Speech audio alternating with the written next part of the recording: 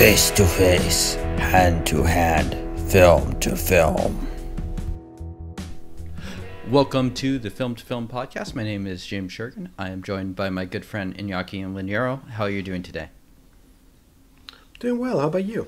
I'm doing all right. I'm doing all right. Today we are mixing it up a little bit. Uh, it was my pick, and uh, we are not doing uh, something from the grand country of Italy, but instead we are going Gasp. over uh, halfway, well, pretty much all the way around the world to uh, Hong Kong uh, for 1986 Royal Warriors. Um, all right, so like I'm gonna give you the quick synopsis, and then uh, you can let me know what you thought of the synopsis, and then let me know what you thought of the movie. Um, okay, uh, a Hong Kong police officer, Michelle Yeoh, and a flight security agent, Michael Wong, form an alliance to foil a hijacking. Not much of a synopsis there. I think there's a little bit more to this film than that. Yeah, I think that's a terrible synopsis. Um, especially because that's like what the first twenty minutes of the movie. Yeah, yeah. You, you know, uh, I I read through a couple synopses of this, and most of them were too long, so I chose the shortest one. Um, because this film really does have quite a simple plot. Uh, but anyways, uh, we will get into that as we uh, get into the film. What did you uh, think of the movie? Uh, it it was. Uh, I mean, let's start with this. It was a very fun movie to watch. Um, it's highly entertaining. Um, the action, uh, the stunts, uh, the different mixing of martial arts, all of that was extremely fun. Um, so, I mean, I, I highly enjoyed this movie. I highly enjoyed it. Uh, uh, is it a great movie? No, it, it's a product of its time. I think it's a very 80s film, also. Uh, sure, it's from Hong Kong, but it, it had lots of 80s elements. So, yeah. Yeah, very 80s indeed, uh, all the way down to its synth score uh, and its tic tac toe bar named California in Hong Kong. Um, some extremely 80s moments. You know, I used to be very anti 80s. It's still not my favorite decade, but I have come around to some of it. Uh, and this this film does have a lot of stuff that I do like from the 80s. I think so. Uh, for me, actually, this is a blind one. I had not seen this film before. I thought it'd be fun to just Oh. try uh, something new. Um, it has a really good reputation amongst uh, like some podcasts and stuff I've listened to, uh, specifically Twitch of the Death Nerd podcast. Uh, they really shouted this film out. So uh, I was like, why not? Let's just take a shot on this. Uh, I had been wanting to bring uh, some Hong Kong action over to the Film to podcast too, and just uh, I thought it'd be a fun watch uh, for us to do and just discuss the film too. So uh, yeah, so chose this one just because of kind of surely its reputation. Hmm. Yeah, no. Um, I think I, I saw a clip of this once in uh, like at a YouTube channel called uh, um, uh, what's it called? Uh, VFX Artists React, or I think it's called. Uh, actually, I think it's uh, Stunt Double React, which is just stunt like they have folks like looking at think uh, clips of different movies, and I think there, there was a clip of this film in there too. Uh, and you know they were gushing over it, and, then while watching this home film, it's like yeah, it would be gushing over that if probably if you're stunt double, because the shit they do is pretty impressive, and I'm pretty sure uh, no one does it anymore. Yeah, yeah, yeah. I mean, it's very much of its time. Uh, Hong Kong in like the 1980s. This is like in the golden age of Hong Kong. I mean, Hong Kong. Uh, so let, let's quickly talk um, just kind of about our own because we haven't t- done a lot of Hong Kong films. We did Election, which is 2005, very different era of Hong Kong cinema there. Um, and that's like post Infernal Affairs has totally different look, post Handover as well. Um, have you seen uh, a lot of films from Hong Kong, and what is kind of your uh, what have you thought of what you've seen so far? So I've I've I've only seen a couple of Jackie Chan films from Hong Kong. Um, usually when they were on TV, like like you know you would be flipping channels and Jackie Chan was on, and you're like, okay, I, you know it's gonna be a solid film. Uh, they were terribly dubbed, but beyond that, it was uh, highly entertaining and lots of really good martial arts. Um, usually, him being a cop or a detective or you know some sort of one or the other. Uh, and whenever you saw something, you're like, "Huh, I wonder if he got hurt." And then later you would learn it's like, "Yeah, that person almost died." Yeah, Uh, Jack. or Jackie Chan broke his skull like seven times in this film, just making it. Um, so I mean, I mean, uh, so when it comes to like Hong Kong films, uh, of course, it is very highly limited to Jackie Chan because I think that's what's mostly on TV. But uh, I, i- in in in in all case, I understand what they're about, and they're about police doing police shit and getting into fights, and lots of shooting, and lots of kicking, and lots of flying, and lots of stunt doubles getting hurt. Yeah, yeah. I mean, the the appeal of these films is no secret. Uh, I mean, it's it's pretty much front and center. And this film does come out uh, kind of just in the uh, golden age of Jackie Chan, a year after Police Story, 1985, uh, which is kind of like that Mhm. seminal, uh, pivotal uh, Jackie Chan film from that era. So uh, bringing it more uh, into the contemporary action, because you know, you and I have watched a lot of films together, and Hong Kong is. Uh, I think it's probably like my third or fourth most viewed uh, country, uh, probably behind Italy, Japan, and the U.S. Um, as far as Ooh. films viewed. But I don't know that you and I have watched a ton from Hong Kong together. Uh, now we watched uh, a few um, kung fu films, but tho- those are the more like historical, Mhm. are set in the past. I don't know if it's historical dramas per se, but you know, costume dramas, if you will. Right, right, right. So we've we've seen we've seen a bunch of those uh, together, but together we we only saw modern Hong Kong films like Election and Infernal Affairs. Infernal Affairs and a bunch of a, a bunch more. Right, right. Uh, Okay, but yeah, Cool, cool. Uh, yeah, I mean those chop more historical setting martial arts films were definitely like the popular films of like the '60s and the '70s, and then um, I think largely due to Jackie Chan and films like Police Story, uh, these more contemporary set um, action films kind of became more of the norm in the '80s. So this comes out in 1986, so right kind of in that uh, golden era of times. Um, one other, Yeah. yeah, and what? Uh, what- what- Go ahead. One thing I wanted to note uh, on, on that is what, what I'm also curious if perhaps there were uh, Hong Kong was like a few years behind. Um, national like global trends? Because uh, you know like in the 80s uh, cop movies in uh, sorry in the 70s cop movies were the thing in the US at the early 70s and then in Italy you had the poliziotteschi which were also the thing. And then in the 80s is when in Hong Kong you started getting the the the, the police movies. And not only you get the police movies but all the cliches I, or, I mean I started like writing down each cliche I saw that probably was already in a film Yeah, uh, in an American film yeah, th- and and they were like 100% just obvious there and sometimes they didn't even make sense Yeah, yeah. I mean, this film goes from like Terminator to Dirty Harry in about five minutes, uh, in just terms of some of Uh-huh. like the lines it's ta- uh, taking from. Um, I, I don't think you're wrong. I mean, Terminator came out like I think 1984, so just a couple of years before this. But Dirty Harry, obviously, already like 10, 15 years old. So, uh, yeah. Uh, ter- what about um, lethal weapon I think Lethal Weapon is after this film. Um, oh yeah, really yeah. okay Uh, I, here, I'll fact check that real fast. I think it's late '80s is what I remember for the first Lethal Weapon. Um, but yeah, you're right. I mean, I don't know if it just lagged behind. First Lethal Weapon was a year after this, so 1987. okay Uh, so, uh, so yeah, I mean, in terms of like coming to the cop films and stuff like that, I do feel like these Hong Kong films have a very different feel to that, mainly because there's usually a lot more martial arts and stuff like that, which you're not seeing like Clint Eastwood or or uh, like Maurizio Merli and the Polizio do necessarily kung fu. It's more just like straight up fist fights. Uh, and less of like the martial arts and kicking and stuff like that that happens in these uh, kung fu films. Uh, right right um, yeah, so um, a couple interesting things. I mean, Hong Kong cinema has always been very export oriented because it is such a small place, and so it's specifically uh, first sort of oriented around exporting films to Chinese speaking uh, places that are broad, so places like Taiwan, uh, Malaysia, um, uh, the Chinese speaking community in the U.S., uh, different places like that. Um, so it's always been very, very export oriented.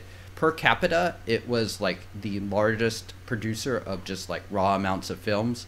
Uh, I think until Hmm. the handover, and it became part of mainland China, um, and I think it did slowly start to die out there. So this is very much um, kind of in that era, pre-handover. The director David Chung uh, worked a lot as a cinematographer. He directed five or six films, and he worked basically till 1995. Handover was in 1997. Pretty common. Um, that's why we had a ton of Hong Kong directors coming over to the U.S. in the 90s. People like John Woo, Tsui Hark. A lot of Hong Kong directors kind of took their shot at Hollywood uh, because of like uh, going over to mainland China and stuff like that. Um, another interesting thing too is all three of these leads, none of them are local talent. Uh, we have Michelle Yeoh, who is uh, actually Malaysian Chinese, so ethnically Chinese, but uh, a, a born in Malaysia, grew up in Malaysia. Um, she was a model. This is something like her second or third film. Uh, so it's fun to see her so early. She is getting some buzz these days still with uh, a film that just came out called Everything Everywhere All at Once, a Right. A24 film. Um, of course, she's in Crouching Tiger. She also paired, uh, interestingly, with Hiroyuki Sanada, who plays the Japanese here, in another film uh, that came out about 15 years ago. Uh, that is the U.S. sci-fi directed by um, Danny Boyle, Sunshine, which is a film I like quite a bit too. Um, yeah, uh, what's your? Uh, how do you feel about um, some of the leads here? Uh, we actually have some names that have come over to the U.S. Um, on a few different things with Sanada and Michelle Yeoh. I mean, they're all great. Uh, uh, they're, they're fun fun to watch. I mean, uh, uh, uh, Michelle uh, is a little bit cartoony when it comes to the beginning. Like when, when she first uh, introduces herself and things like that, it almost feels like a, a children's show. She's like mugging for the camera and stuff. yeah. yeah. but um, as the film progresses, she gets better. I mean, uh, the film does fall a little bit when it comes to the drama, and um, I think that's uh, its weakest uh, point. But uh, still, she she's hi- she's highly entertaining, um and also she can fight, yeah, she's a great. or, or it looks like she can fight She- really really Yeah, well. she's a great physical performer. Um, I think she is clearly just a really good athlete, and the way that she does the stunts and stuff. I mean, she she Mhm. sells it. I'm sure there's a stunt person uh, used at certain points, but she's Yeah, definitely doing a lot of stuff herself too. Um, yeah, for sure. Yeah. Uh, Yeah. And the same thing goes with uh, Hiroyuki Sanada. How'd you like him? He's kind of like the uh, Japanese actor that he appears in a lot of stuff. He's like the guy in Last Samurai. He was in Lost for five or six episodes. He's in a variety of stuff um, still these days. Uh, how'd you like him? Yeah, with, with him, um, I feel like we didn't get enough of him. Okay. Uh, in, in a way, like uh, he he's not. Although he's the main character, he is not. I mean, he's out of the movie for a, a fair share. I mean, I would say this is kind of like three more or less equal leads, uh, but yeah, he, he's kind of in like the first half, and then he goes away until the finale. Yeah, I guess so. Uh, I mean, I mean, he, he definitely has a presence uh, when whenever he's uh, whenever he's fighting. Um, I mean, like this is with any movies it's been like even in shitty movies like uh, Mortal Kombat. Oh yeah, yeah, he's a Yeah. scorpion, isn't he? yeah, he is, and he's like the best thing about the movie. oh really? Okay. Uh, I've not seen it. um, I mean, he's kind of wasted, but uh, but yeah. In short, I think he he's he's good. He, he's just he, he's not used as much. Uh, but that that also perhaps is because you know this is like he was not that he was not big back then. I'm assuming. I mean, he's clearly young. I mean, there's one thing about this film that really stands out to me. It's how young the performers are. It's like I think Sanada is like 25 or 26. He's the oldest. Michelle Yeoh is 23 or 24, and Michael Wong is uh, 19 when, the, when he filmed this film. So, uh, who who is the third lead? And I think probably the lead that uh, we might speak most critically of uh, of them, uh, Michael Wong, uh, who kind of is. Uh, stalkery, plays a lead that would probably not make it in Hollywood 2022. Um, he is actually a Chinese American actor. He's half Chinese, um, and he speaks not great Cantonese too, so that's supposed to be part of the character too. Is he's a little uh, awkward around Chinese and stuff like that. Um, so he's meant very much meant to be an outsider. Uh, so that's something that might shift perspective just a little bit. I'm not going to really defend his role. Um, I think he's. Uh, I I don't know that he totally pulls off the role uh, that great. I mean, I think this is probably the weakest part of the movie. I do like some parts that they do create, kind of like the gender reversal, where Michelle is having to save him, and he's more playing the damsel in distress, but the guy in distress. Uh, but yeah, he's got to like talk to a fish, uh, kind of like Robert De Niro style, where he's like monologuing to himself. And Michael Wong is no Robert De Niro. I'll put it that way. Uh, yeah, I mean, I, I think he, got uh, the lower end of the. I, I don't know. I, I mean, I think the character himself was uh, not a very well written character. So I mean, there's that. Uh, add to that that uh, he himself is super young, super young and uh, I don't know, it, like, so the, the fish scene that you're talking about, like, which I wrote wrote down, and like, it it it makes sense in, in a way, like as a as a as a concept. Uh-huh. Uh, but yeah, like, why did they do it? I, I don't know. Uh, why did it happen? I, I, but it, it perhaps to give more weight to you know the the moment, perhaps. But yeah, the the, char- the the actor was not strong enough to pull that off. But also the, uh, I mean, I, I think all the non-action scenes in this movie were not good. Like, all, all, I think all the action non-action scenes were just not good. um, they were not bad, but they were not good. And I mean, thankfully, there's there's only there is a lot of action in this film. Um, Exactly. I'm, I'm struggling to even think of the non Michael Wong uh, act, acting that happens in this film.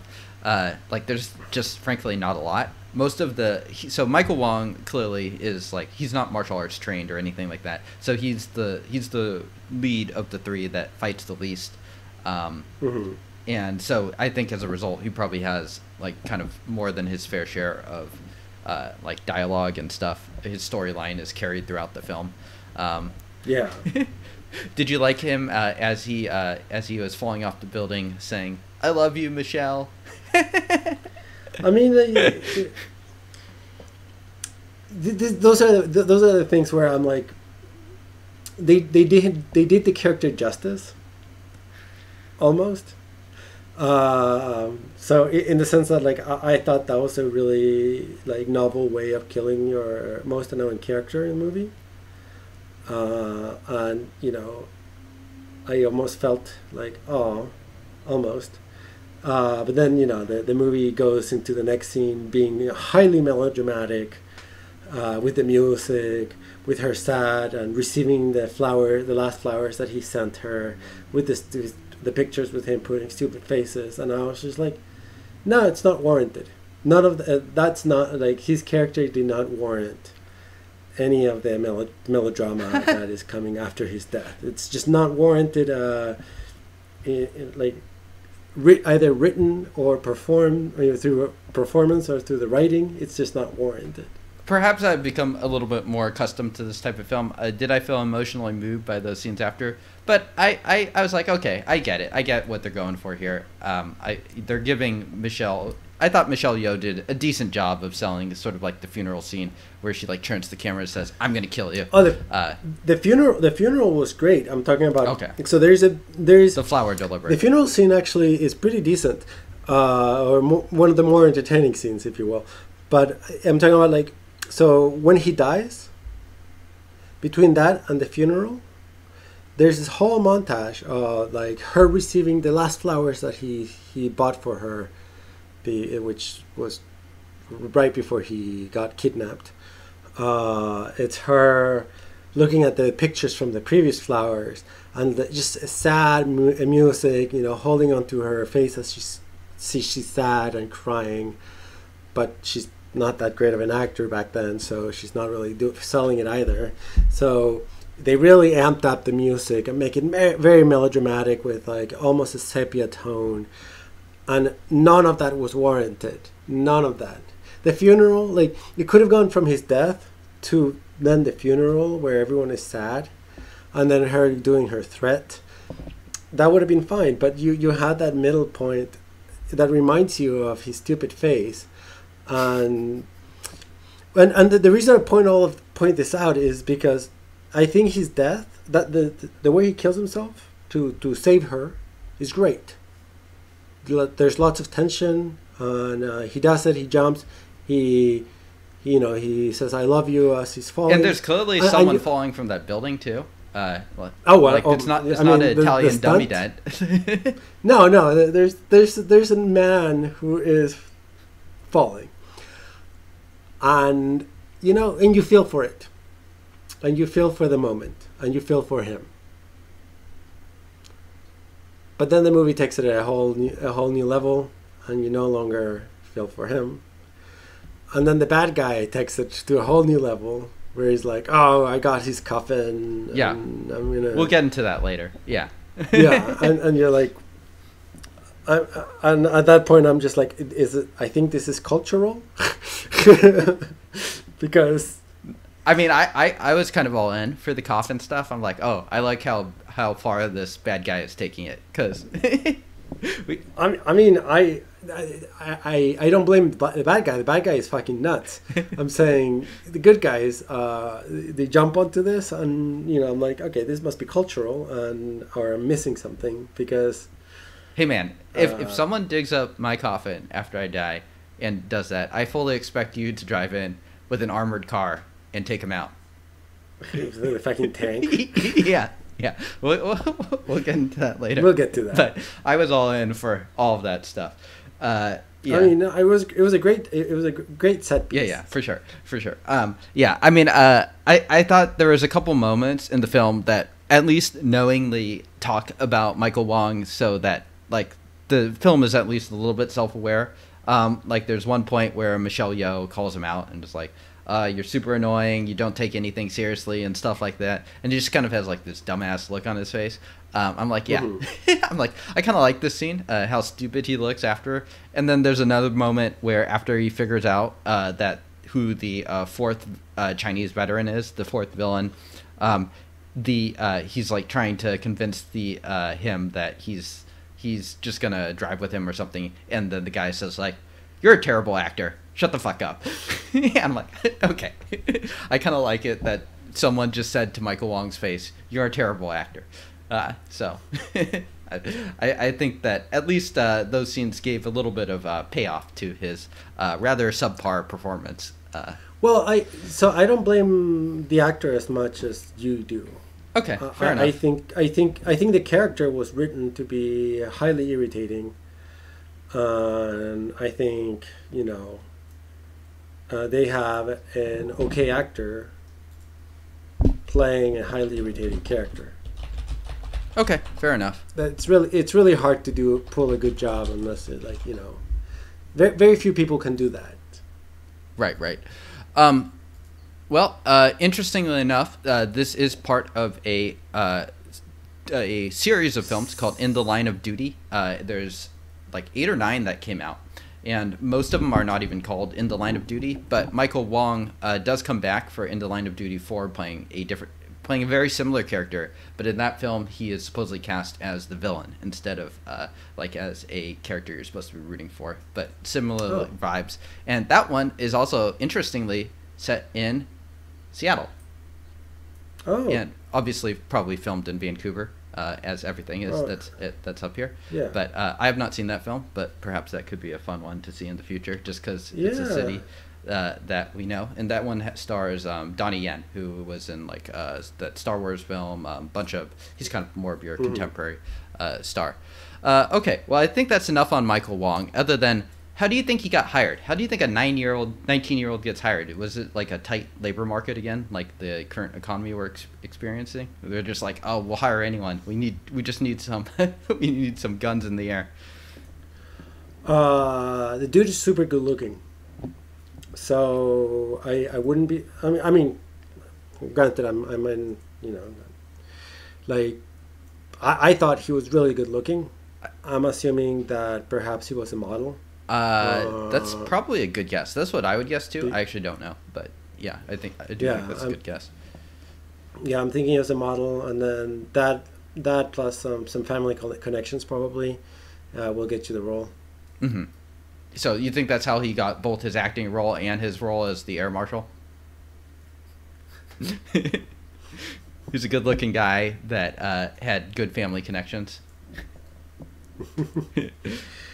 I mean, air marshals are not like. Let, let's be clear.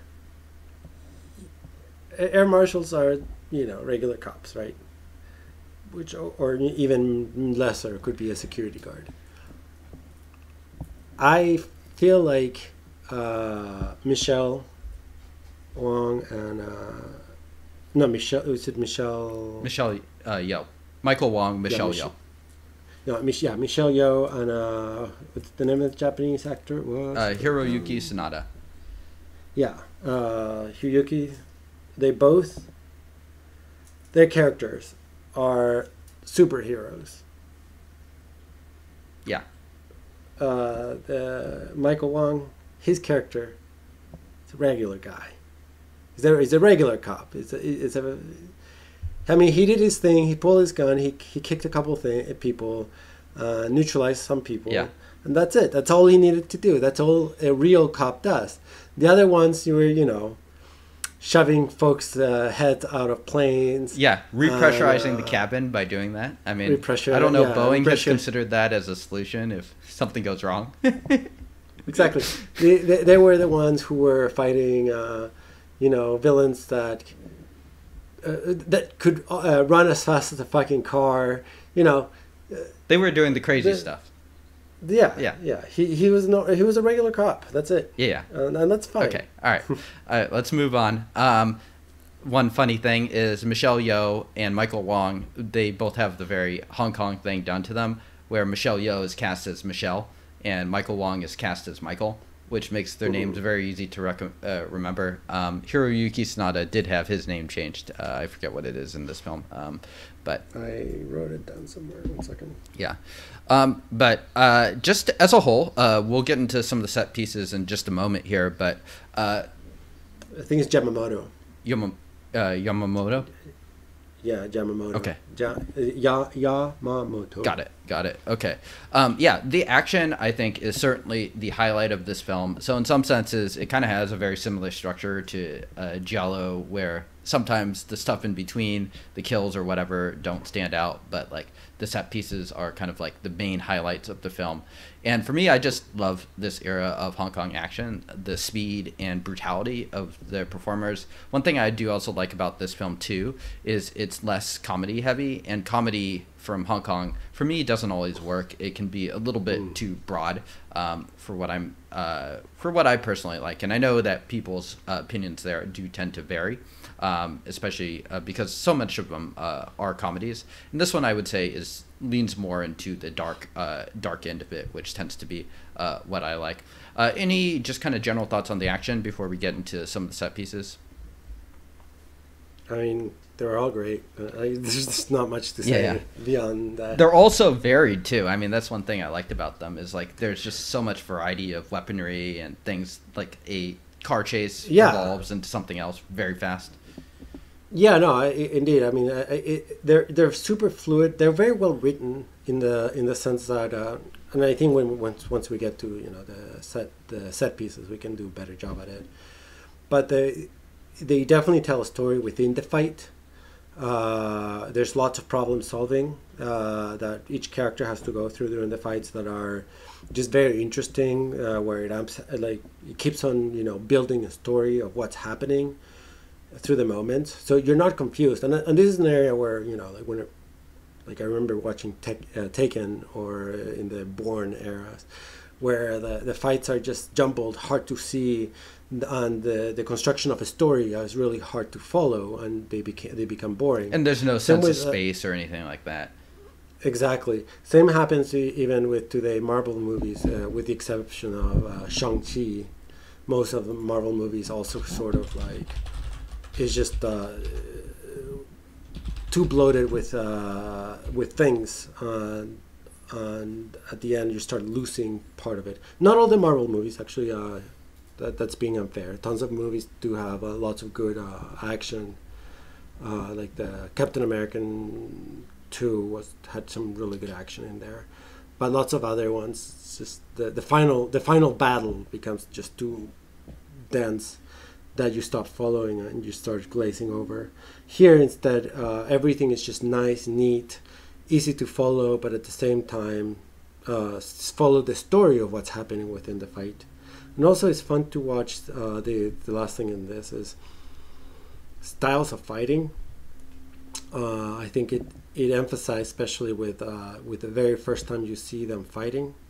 When, when, when first time you see uh, Michelle fighting, is that her style is probably kung fu, uh, while she's being attacked by folks with katanas, uh, which is more of a Japanese type of fight, fight sword fighting. From there, you see it once again with uh, again Michelle and uh, Japanese actor, I forget his name. Uh, Sanada or Yamamoto. S- Sanada, the character Yamamoto, um, who clearly has a Japanese style of fighting and it's not kung fu, and you get to see those differences. Right, right, right. Yeah, yeah, uh, yeah. It's very different. I mean, they're also. I think Sanada and uh, Michelle Yeoh are both very gifted physical performers. Just the way that they are moving around, and I, I just love the rhythm that they have here. So yeah, let's just get into some of these uh, set pieces. Uh, we'll skip over the intro, even though it's kind of fun, uh, just for kind of the more major ones, and go straight to the airplane, uh, which is a, a, scene that is a little different to watch post post 9-11 in some ways. I mean there is a lot going Yeah. on in this plane. Uh, we can talk about some of the poor decisions that characters make in terms of uh, where they choose to have their battles. Uh, somehow this is uh, this is definitely in the running for the worst decision of like why are you trying to rescue your friend in an airplane with a grenade? Is that is this such a great decision? Um, but somehow that may not be the worst decision that someone made uh, in this film on where to fight. Um, yeah, uh, I I really like this set piece. I like kind of like the close quarter nature of the airplane, and it just does a great job of like just jumping you right into it, and it just sets sort of like the Fast and Furious uh, nature. We have like uh, like things uh, with all the snacks and stuff getting tossed at people. Uh, I like that uh, you know Michelle Yeoh beats the shit out of people, but she also like they don't treat her with the kitty gloves either. She like gets tossed around. She goes she goes through stuff. I feel like it's something you don't see a ton of. Uh, I'm not going to say you don't ever see it, but it's like I like that they're showing the fight and it looks painful. Like it looks like it freaking hurts. Uh, and I, uh, yeah, I, I really like this. I don't think it's my favorite set piece in the whole film, but I think it's a great way to just get the film started with just a ton of energy and chaos. Yeah, I agree. I, I mean, I, I actually don't think that the uh, plan was that bad. Personally, I don't like. So generally, what do hijackers do when they take a plane? Why, why do folks do not fight against them? It's usually because they have some explosive explosive device. So here you have a hijackers with a grenade. That's perhaps not the most uh, useful exploding, explode, like exploding device because it's actually their explosions are rather small. It's more shrapnel than anything else. But uh, the whole point is, uh, you know, that that's a threat threat enough for everyone to calm down and have the plane divert to where, wherever else it was supposed to land I see. uh, I- to let the the guy free. The thing, the whole point is that they didn't know they had two superheroes, two super mar- like martial art heroes in that plane. Yeah, neither of which was the law enforcement. I mean, they immediately execute like the two law enforcement officers too. Uh, Yeah. which was smart, and I mean, just shows you that this film is going to have a body count. hmm Yeah, no, for sure. So I mean, well, I mean, in, in that sense, like the movie also t- showed the brutality of the bad guys because you know they they just they just killed the cops, like the two cops, even even when they were following the, their orders. Um,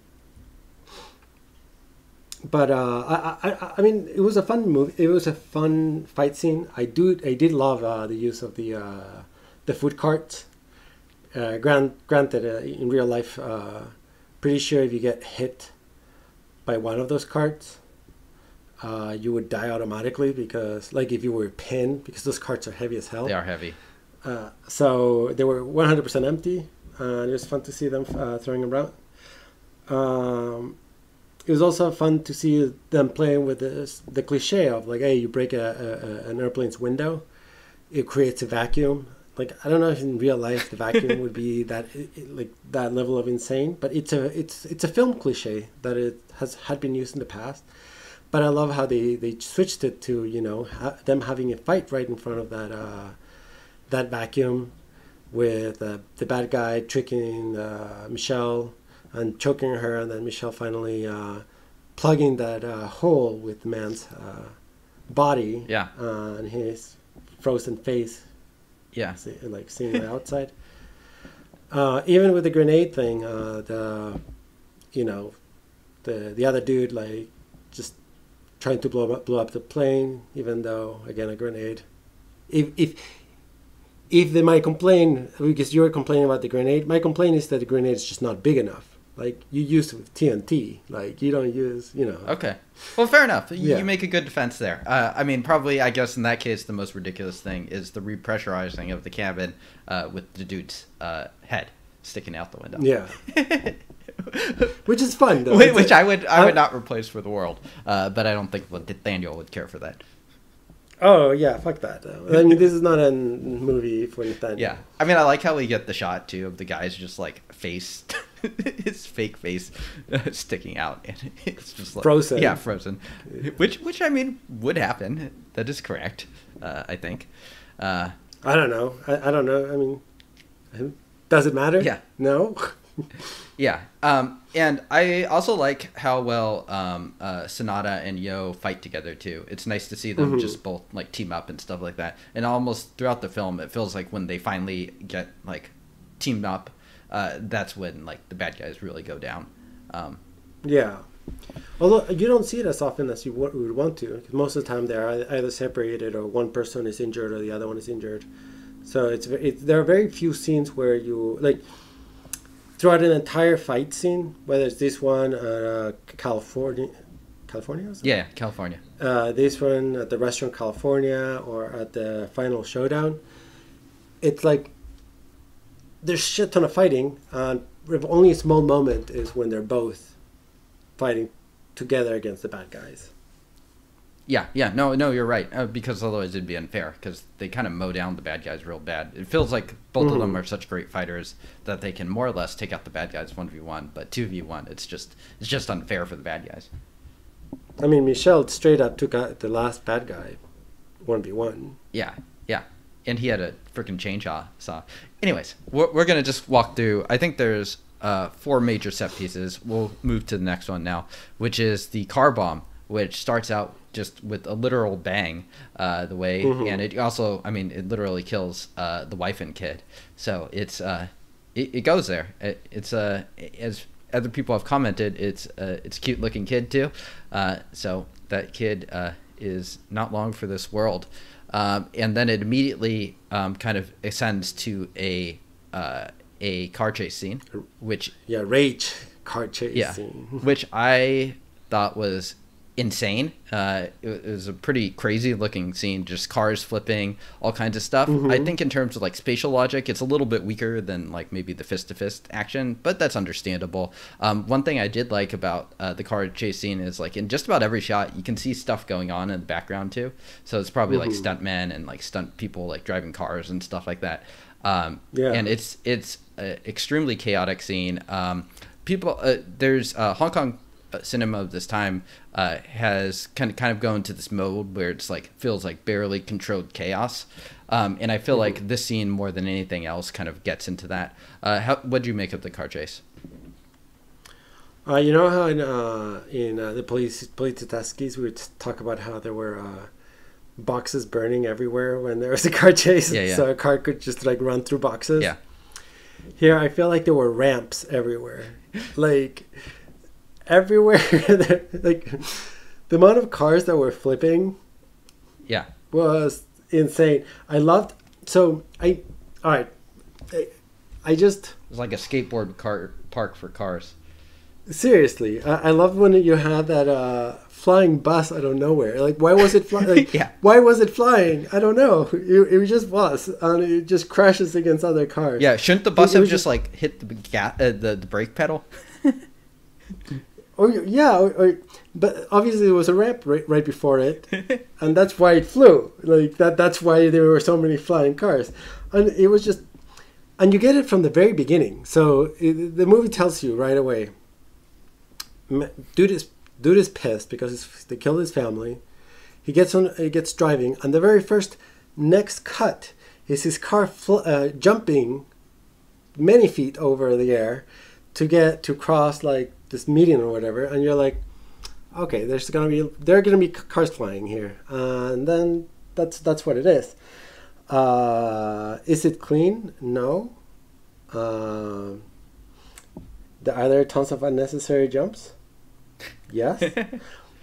but the, what the movie does a really good job is they they set out so well the reason why the man is full of rage you follow him hmm you follow this nonsense when it comes to storytelling. Was it obvious that they were going to kill his family? Yes, 100%. The, the, the movie was screaming out, Your family's going to die. Your family's going to die. I thought they were, were going to be killed at the restaurant. I ho- thought they were going to be killed eating breakfast. Now they were killed in the car. But they were going to, like, it was obvious because one of the pl- cliches There's got to be some police fodder. off- Yeah. When a police officer says, "This is my, uh, I am retiring tomorrow," to his wife, either the police officer will die or his wife will die. Yeah, but we knew the police officer was a kid- star, so yeah, Huh? and the police officer was a star, so yeah. And if there's a cute if there's a cute kid, yeah, yeah, that, that, that- they're gonna die.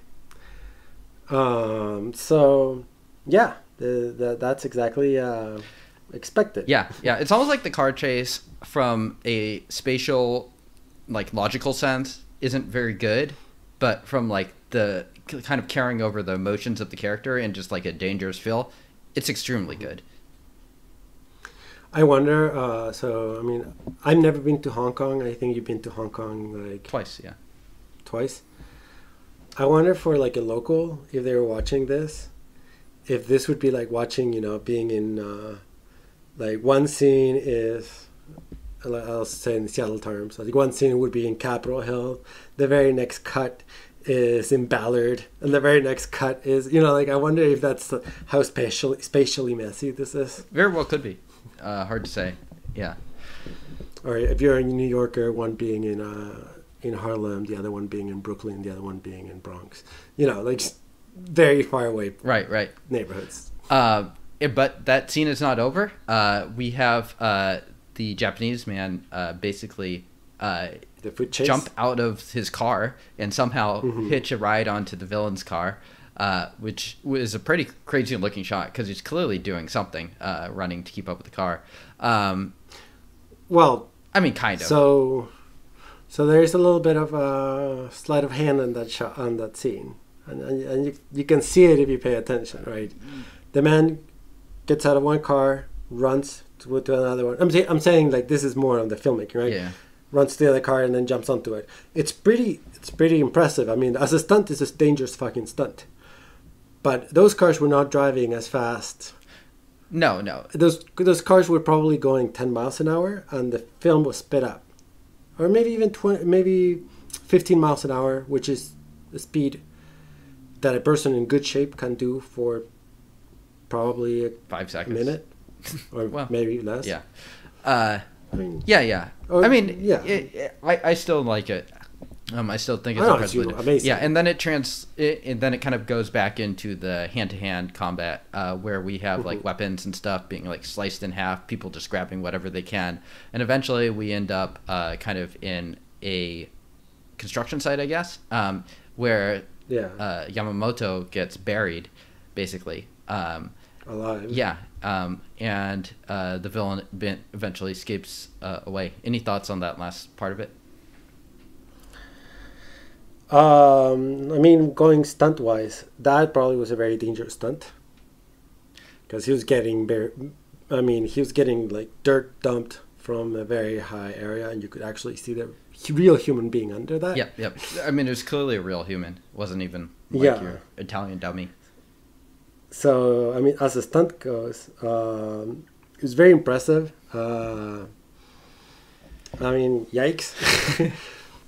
but, you know, I I I also really liked. I, I love the the the actual fight. So I mean, whether it's a stunt double or not, like uh, there's lots of tension there because he's he's in that ditch, and then you know you got uh, he's basically almost saved by Michelle, who starts fighting with uh, the bad guy on on that uh, digger or whatever it's called. Like, yeah, I wrote. I mean, she basically wins the fight, but she has to save him because he is literally buried. Well, she she wins the fight, but not necessarily because her point was not to get to stop him from dumping the dirt onto him. He still dumps the dirt, but he runs away. The bad guy. Right, right. So, uh, me. Yeah, yeah, sure, sure. Um, all right. Well, uh, let's go on. By the way, did you catch uh, the background of the villains in this? That Uh, like they were in a war. I, no- I noticed that. Uh, and they were all like like it's a band of band of brothers basically. right. Well, n- not technically brothers. They're more like brothers and No, no, but like I mean, I'm talking about like yeah, yeah. they're like brothers of war. Band of brothers. like, yeah, yeah. were- Um, yeah. I, I believe um, the implication is that they are mainland Chinese. Uh, so they are not from Hong Kong. So they're outsiders again. Um, so they're mainland Chinese, and I believe that is the uh, they are veterans of the Chinese Vietnamese War, uh, which happened in the late seventies. I think. Oh, so I think that is the implication there. Uh, Were they? But they didn't speak Mandarin in that scene. Did no, they didn't. But there's a lot of mainland Chinese that are Cantonese too, and also it's like it's a Hong Kong movie, so they're going to play fast and loose with the actual dialogue. Well, they didn't with Japan with the Japanese language in the sense that they were in Japan. It's true, but there, there are still like hundred million Cantonese speakers in like the mainland too, so they could just Jesus Christ. Okay. so so there's a ton of. Uh, it's not just Hong Kong that speaks Cantonese. It's it's uh, a lot of Chinese. I mean, yeah. Okay. So I mean, it, yeah. In fact, the ones that probably come to Hong Kong tend to be the ones from Cantonese areas because those are right outside of Hong Kong too. Mhm. Uh, so Okay. yeah, brief interlude, just quick. Uh, at least my interpretation of their motivation there. Um, okay, so now we get to California, which I think might be this. This might be the worst plane. Uh, since you convinced me away from the grenade in the plane, what convinced uh, Yamamoto to want to stage um, to use them as bait in this bar, which is loaded with glass and most importantly people um, and a ton of people end up dying due to uh, the decision to uh, set up a trap in this place Uh, do you have a defense of this I I do, but it's not the best. okay you're, you're a Uh, lawyer He was counting. Uh, he was counting that there was lots of people, Mm. and he assumed that uh, you know a bunch of gangsters who do not want to be caught would not make a fucking scene, mowing down dozens of people with a machine gun. I think that's you know to truth be told. I feel like that's usually a cliche, right? It's like, hey, you, you better be in a busy place. That way you don't get uh, killed. Like if you're in a quiet place, that's more likely for, you know, a person who wants to kill you to kill you. So yeah, being on the busiest uh, place perhaps is the the area where, you know, you're they, they might try to do something to you, but not like bring a machine gun and shoot an old lady first before and, and her husband before starting shooting at you after probably mowing down everyone on that line of fire before getting to you. I i, I- I think it would not have been reasonably anticipated that that would have was going to happen true true true at the same point the uh, yamamoto deserves to be fired immediately after this decision uh, to put all of these civilians at danger um, yes yes i agree but i mean I don't. I, I mean, it's funny. Um, I've been watching um, uh, Narcos. I know this is a weird uh, segue, but I've been watching or weird tangent. But I've been watching Narcos. I watched Narcos. Uh, now I've been watching Narcos Mexico. Mhm. And throughout, like in the first like few seasons, Narcos when it's in Colombia, you don't see much of like mowing down folks in public. But in Narcos Mexico, now you see it because the, I guess the gangs are were much are, were much crazier in the '90s in Mexico than they were in Colombia in the '80s. The reason I point this out is there are two types of gangs. One that will, you know, like try to stab you in public and then run away, and then two, the one will which will just machine gun the, shit out of people. In the '80s, the common commonality was the the number one, not the number two, not the machine the ones. but this movie was ahead of its time and it had the gangsters with the machine gun just mowing down everyone in that Right. place. Make I mean, I guess the implication too is that they are war veterans, so you could probably draw some like through line from that, uh, like choosing to bring like a machine gun uh, uh, to to that. Uh, regardless, it is a very risky plan that results in a lot of innocent people dying. Um, the bad guy also makes a questionable decision by ruining his advantage of like ambushing them and just wasting a random old woman first. Um, very brutal, yes, uh, but why? I don't know. Um, but most importantly, the most befuddling decision of all is why is California tic tac toe themed? Do you have a defense for this? uh, they had the neon lights for that, and they were like, okay, let's use yeah. it. What's a popular game in America? tic tac toe. Let's do it. uh, I kind of love it, but it, it's it's like immediately uh, that's what I wrote. California tic tac toe question mark. Um, It was so big too. there was it was like twenty tic tac toe boards on there. I thought it, I always thought it was just the same one. Oh, was it? Just really large. okay, maybe they kept showing. Or no, maybe you're right. Maybe there were smaller ones. yeah, I thought there was a bunch of them, but uh, It was just it, was just a shit ton of neon. I think I think they straight up were like, we want as many sparks as possible. So they brought in like they probably went into like some uh, you know neon light hardware like seller, and they just bought a bunch of neon lights, whatever they were, and they're like, yeah, we're gonna this is gonna be our set, just a shit ton of neon lights. And it happened to, you know, be a whole bunch of tic tac toe neon lights because they couldn't sell that shit Yeah, anywhere. they got the surplus. Who buys a tic tac toe neon, Yeah. light, neon lights? fair enough. Yeah, you're you're probably not wrong. They're like, yeah, we're gonna destroy all this stuff, and they're like, cool, let's do it. Um, uh, yeah, I mean, basically, the scene starts with them getting ambushed, with the old woman being wasted, and like basically the marine vet or the veteran basically going crazy with the machine gun, just mowing down everything. Um, one thing that Except for his targets. yeah, except for his targets. Uh, one thing that did catch my eye here is that the pedestrian or the innocent pedestrians here are perhaps some of the least helpful um, that you see. Uh, one of them grabs Michelle Yeoh's uh, foot while she's about to take action. Uh, another one like stand up and like uh, tell uh, uh, Yamamoto to sit down uh, or get down and immediately get shot while he does it. So some head scratching maneuvers there by the pedestrians there who probably should have just kept their heads down. Um, what do you think of the scene? I mean, it was fun. Again, did not expect so much shooting and so many innocent people dying. Um,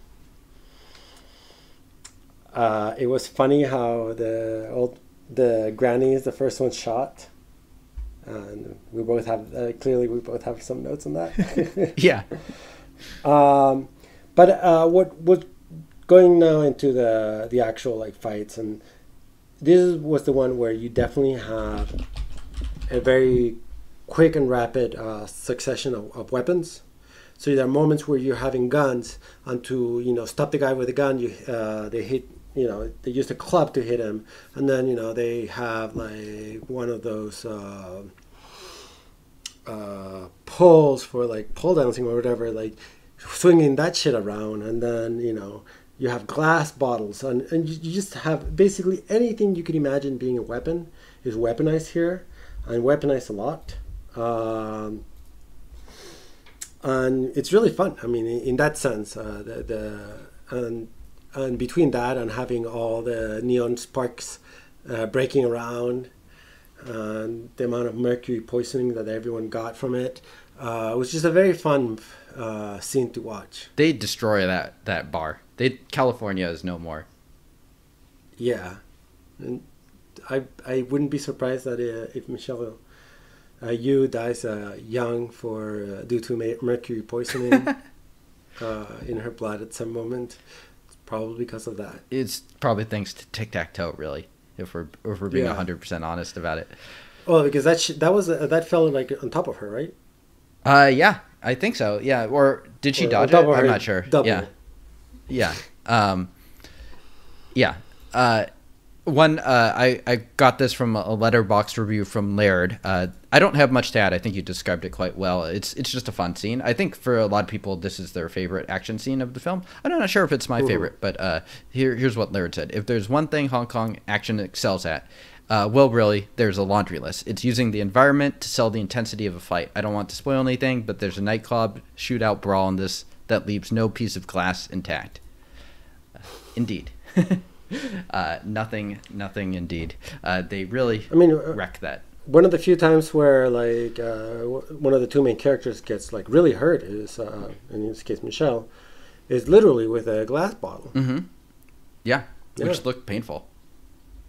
I mean, he stabbed her. Yeah. Like, Uh, okay, well, that's a uh, that's a good scene. Uh, in the meantime, we have uh, Michael's kill. Uh, blah blah blah blah blah. Uh, we will move to the finale, where both of the leads now are super pissed off because uh, Mhm. uh, uh, Yamamoto has lost his family. Uh, Michelle Yeoh has lost Michael, her her she has lost her stalker. stalker adoring reminder uh, uh, yeah uh, and uh, we uh, get to this part where like she goes to a place called Yip Laboratories. Um, I think so. Michelle Yeoh has been rec- credited as a lot of different uh, names throughout the year, but um, in this film she is credited as Michelle Yip. So I believe that's like that that's like her acting name in this film rather than Michelle Yeoh, which she would eventually go by. So she goes to Yip Laboratories. So I think maybe the implication is that person is her father,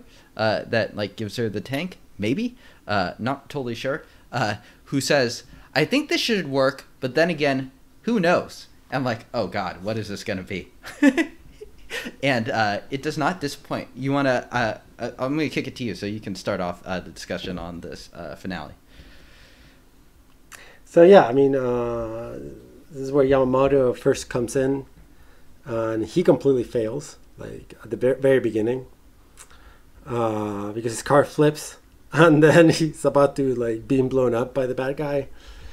Uh, yeah, she comes to the rescue with uh, this biggest tank, and the first thing she does is, you know, you would assume try to kill the bad guy, but no, she moves the other car with the man inside the car upside down, the man inside with half his torso out and he moves them. and this is the man is there like i mean this is the actor again no dummy and she moves that with her tank or armored vehicle and then she just completely destroys all the foundation of where the the bad guy is Yeah.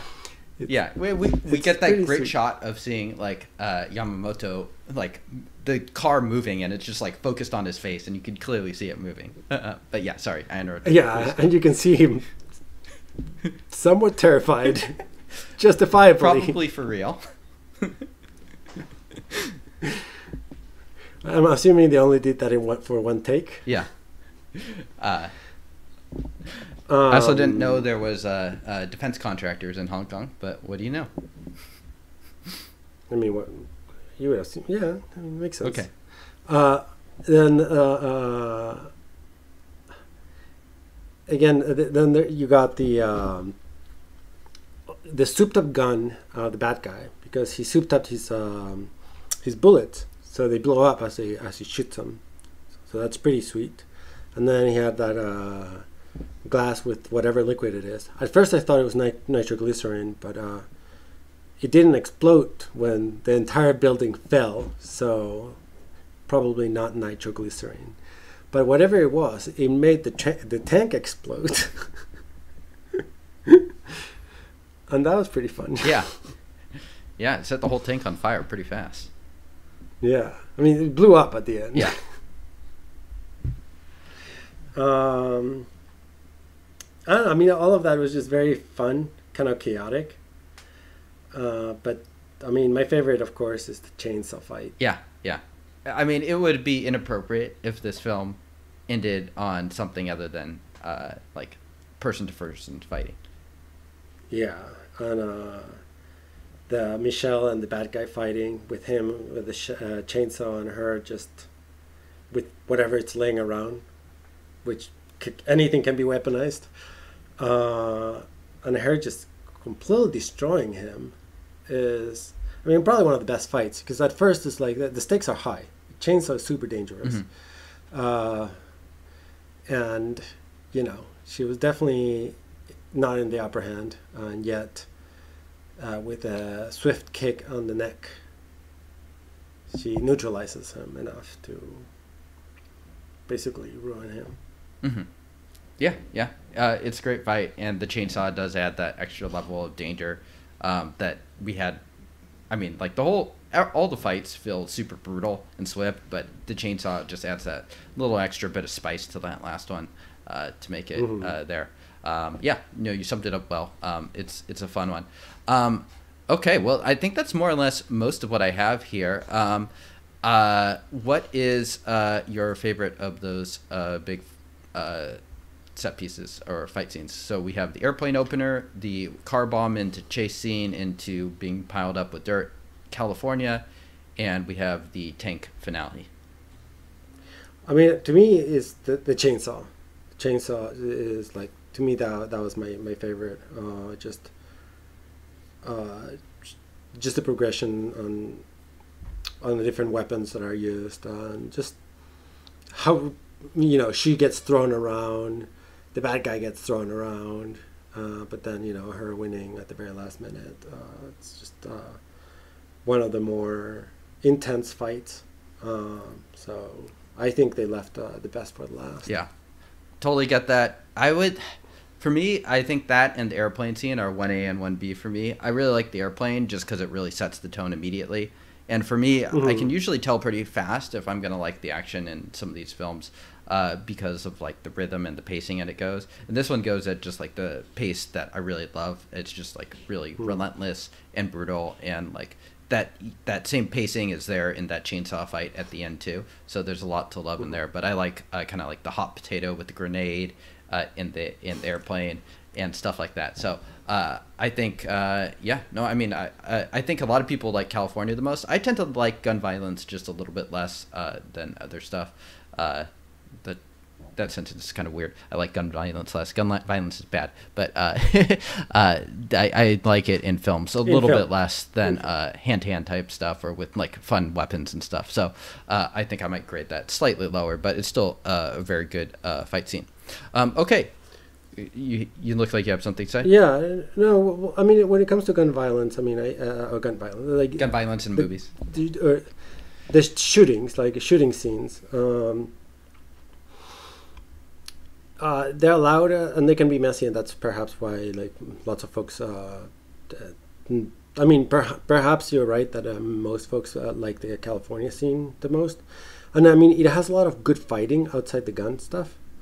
But I feel like it, it's a common. it- It's more common to actually um, enjoy the the hand to hand combat over like guns, like just shooting all around. Like, I mean, if you think about like action films that we that we you know folks really love today, you know, the, number one goes to, would be John Wick, which is mostly hand to hand combat, and even when the uh, guns are used, they're used in a very close, Very hand-to-hand uh, way.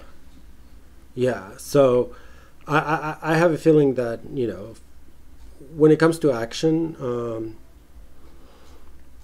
the whole like just mowing down with a machine gun and folks just shooting each other around is um,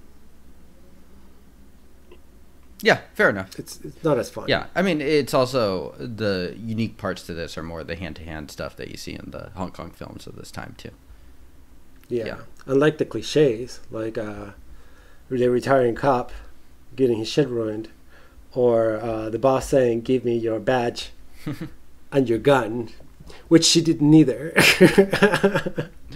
Yeah. Sorry, I just I had to point that out because it was out of place, and also she doesn't even do it. Yeah, they got all of the good cliches and the bad cliches. Uh, Uh, and when she tries, she actually gives the badge. He's like, "What? You can't do that."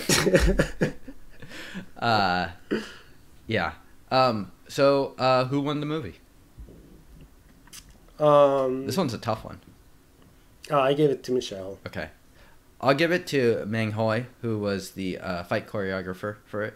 Um, Oh, well, yeah. yeah. I, I mean, I am tempted. I mean, like, I could see giving it to Michelle or Hiroyuki Sanada, anyone but uh, Michael Wong. Uh, uh, and um, rating of the film and any last thoughts? I think I put it at eight and a half. It's highly enjoyable. Um, I have other notes, but they're not like that worth it. So yeah, that eight and a half, highly enjoyable movie. Yeah. Um, From a fun standpoint, it's hard to nitpick much. Uh, Yeah, exactly. Uh, and I already just trashed the, all the non non uh, action areas. Uh, you know, uh, you know, we are a spoiler filled podcast, and of course, we uh, spoiled this. if you were interested about plot, yeah, we give our spoiler But I- warning at the end. Yeah, no, but the, the reason I'm, I'm saying this is that although we spoil the plot, perhaps, uh, I do highly recommend watching it. Um, so this is, I'm giving it eight and a half. I actually do not give my numbers. Are, I'm more conservative with my numbers, perhaps. Uh, so eight and a half is very high for me.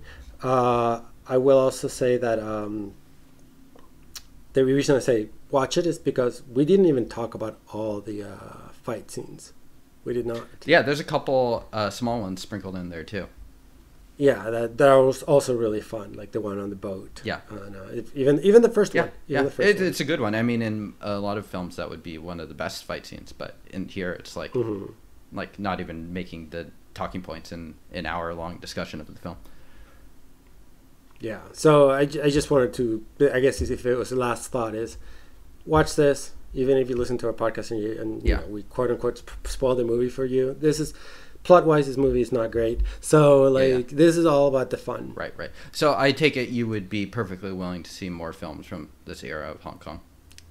Oh yeah, for sure. Yeah, I mean, I, I'm hoping for that. Okay, sounds good. Um, yeah, for me, I actually um, I have the same rating, eight and a half out of ten. Um, the flaws of it are pretty obvious, um, and I think it kind of just depends how much you forgive, uh, kind of like the Michael Wong character, or how much you get into that, uh, as far as like if this is. Uh, perfect or not uh, for you but i think uh, from an action choreography point of view uh, for me it's it's very ideal um, as far as stuff uh, so i just really like the mix of it i like how we get um, uh, michelle yeoh uh, fighting like a little bit of a gender uh, i like it when we get women and men fighting too so i like that part of Ooh. it and it's just bristling with that creativity coming out of hong kong and it's easy to see uh, i'm sure for you uh, why all the stunt people would like a film like this too um, just with all the Yeah, stuff yeah, going sure. on in the movie. Um, okay, And go ahead. yeah, and this movie's smart enough to kill the uh, weakest character. It's true. They they maybe they uh, should have switched the kill order, so maybe Michael Wong could have been bumped off at the twenty minute mark, and the the wife No, kid could have made it further.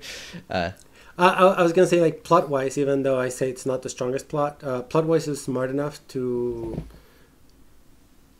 uh, uh, smart enough to not only kill, to to kill him actually around the end to give some you know uh, an additional push for Michelle, and also to to make sure that you know there's no possible way that she ends up with him, yeah, it's true. and and and that which makes her character even stronger. Yeah, it would have made it. I, I would have made me like the film a lot less if she it show ended up being romantically involved with him in any way. Uh, exactly. Yeah. Uh, all right. Well, thank you, Iñaki, for the discussion. That concludes the film to film podcast of Royal Warriors 1986. Uh, and uh, I recommend everyone go check out this film. Um, and you, Oh, what did you rate it? uh, same as you, eight and a half. Yeah. Okay. Uh, you can uh, send us an email, zafilm2film at gmail.com. You can also send us a tweet. We are also now posting these on YouTube at Film to Film. Uh, so check those places out, and uh, we'll see you all in a few weeks.